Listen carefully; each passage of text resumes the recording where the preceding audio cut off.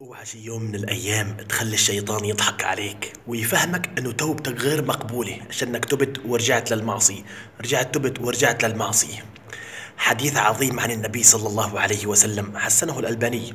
قال النبي صلى الله عليه وسلم ما من عبد مؤمن. حط تحت كلمة مؤمن مئة خط. إلا وعنده ذنب. يعتاده بين الفينة والفينة أو قال يعود إليه بين اللحظة والأخرى حتى يفارق الدنيا. كل ما يعمله بتوب بيرجع له بعد فترة. ثم قال النبي صلى الله عليه وسلم إن المؤمن مرة المؤمن خلق مفتنا خطاء توابا نسيا إذا ذكر ذكر.